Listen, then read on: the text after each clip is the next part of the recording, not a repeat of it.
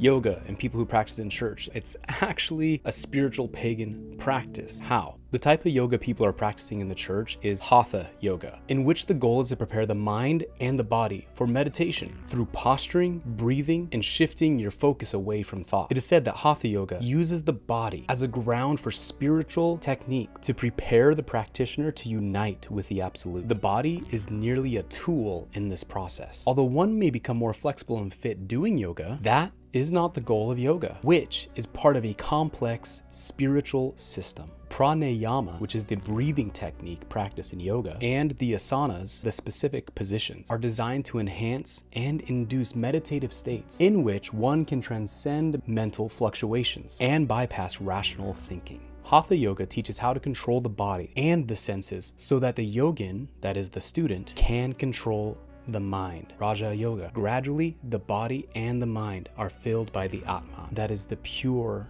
supreme, universal self. And through the death of the body, it is the resurrection of the higher self accomplished. You see, what we have to understand is that yoga is not a physical practice with a spiritual component. It is a spiritual and religious practice with a physical component. To say you're doing one without the other would be like saying, oh, I'm just having juice and crackers when you come to the table of the Lord and partake of communion. Or that getting baptized is simply a matter of rinsing off. Subhas Tiwari, a professor at the Hindu University of America with a master's degree in yogic philosophy, unapologetically clarifies the theistic implications of yoga, stating, quote, the simple immutable fact is that yoga originated from the Vedic or Hindu culture. Its techniques were not adopted by Hinduism, but originated from it. Going on to say, the effort to separate yoga from Hinduism must be challenged because it runs counter to the fundamental principles upon which yoga itself is premised. The yamas, its restraints,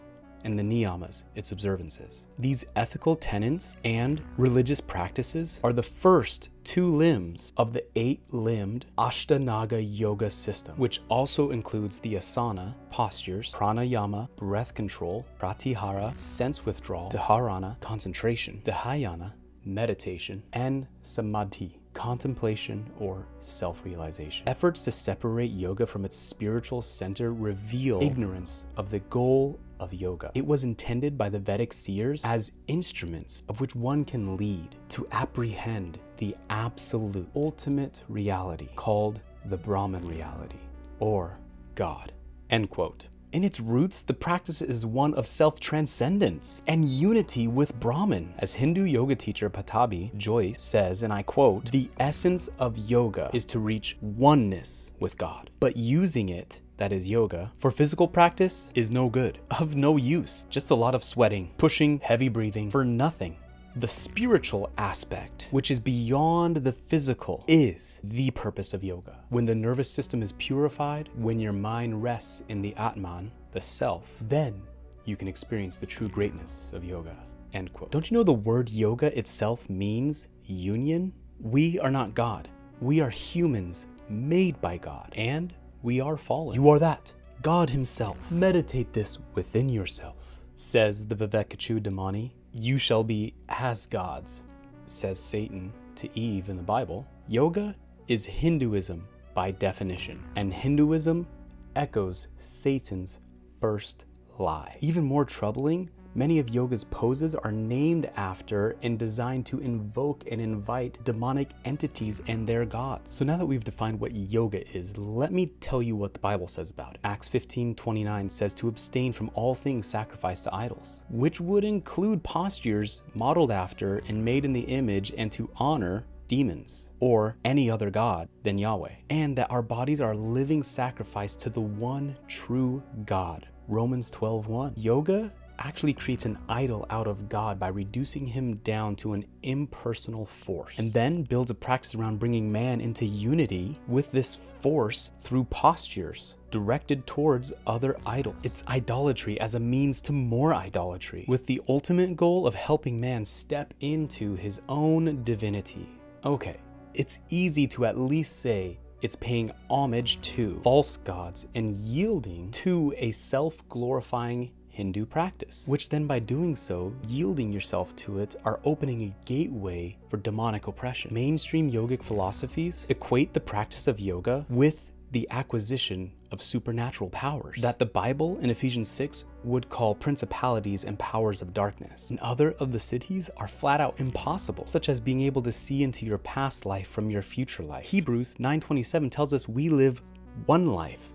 That's it. And afterwards comes judgment. The person who does ascend to seeing their past life through their future life is either hallucinating and needs to be diagnosed psychologically, or the more likely outcome is they're being influenced supernaturally to see things that are not there. Not even to mention the Kundalini syndrome. The Kundalini serpent is believed to be a coil of energy in the base of the spine that works its way up through the seven chakras, or the energy system within the body, resulting in spiritual and psychological transformation. As this coiled serpentine energy fully opens all the energy systems of the body, creating a free flow of cosmic energy, people experience a Kundalini awakening wherein they enter an expanded state of consciousness. Kundalini awakenings, however, come with side effects that appear to mirror psychosis, causing symptoms such as depression, insomnia, and identity confusion. And they're becoming more and more common.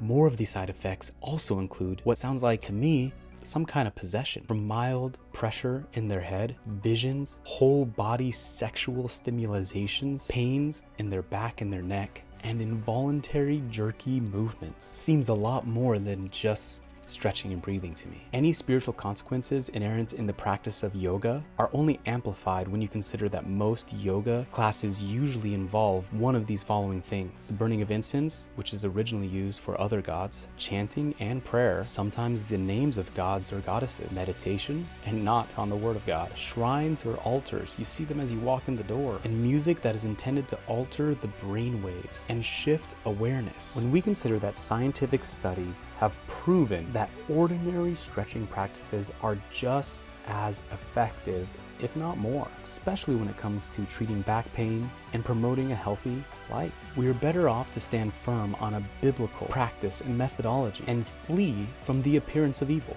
If yoga is methodological Hinduism intended to bring people into a realized state of self divinity, and if yoga is named after foreign gods and goddesses with the intention of becoming one with them and their attributes and their essence, and if the supernatural siddhis and the Kundalini syndrome are known side effects of proper yoga practice, this seems to be the most direct parallel to the first lie in the Garden of Eden. Out of every other practice in history. You surely won't die if you eat of it. You will become like gods.